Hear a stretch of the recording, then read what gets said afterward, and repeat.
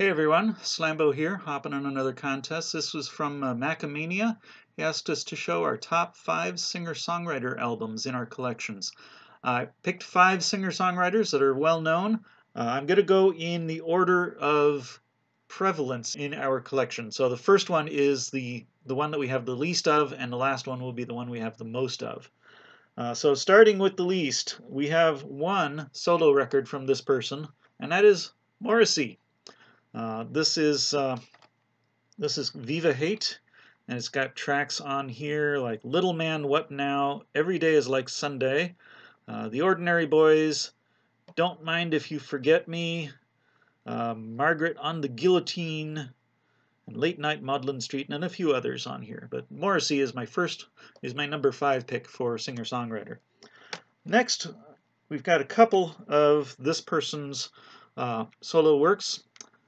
This is Arlo Guthrie. Uh, this is someone that we actually got to see live when he came here to Madison a couple years ago.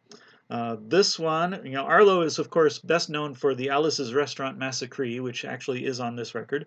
Uh, so also on here we've got uh, City of New Orleans, which is another one that he's really well known for.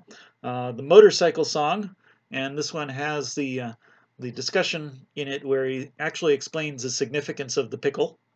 Uh, Cooper's Lament, Gabriel's Mother's Highway Ballad Number 16 Blues, uh, Last Train, Darkest Hour, and Last to Leave. So there's only nine tracks on here, but uh, some of the tracks that he does are, are a bit longer than some of the other artists that we've got in our collection. Next one is a person that I've shown several times before, who I, is one of my favorites, and that's Tom Lehrer.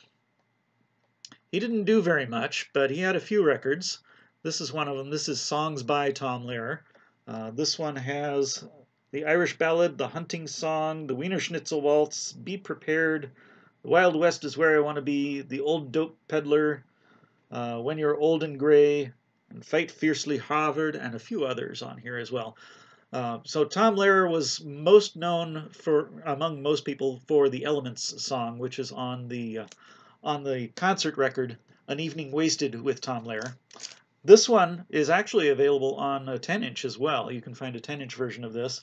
Uh, and then there's also another one, a follow up to this called More Songs by Tom Lehrer. So Tom Lehrer is our number three pick for singer songwriter.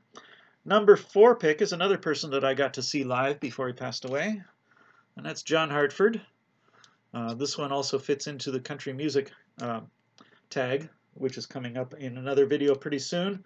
Uh, this one is one that I actually got him to sign as well, so this is, has extra special meaning for me. Uh, this has songs on it like the good old electric washing machine, circa 1943, uh, Up on the Hill, Sail Away Ladies, Natural to Be Gone, Jawbone, California Earthquake, and it closes with My Rag. There's 12 tracks on here on Flying Fish Records, uh, recorded in 1981. There it is. Copyright 1981 Flying Fish Records.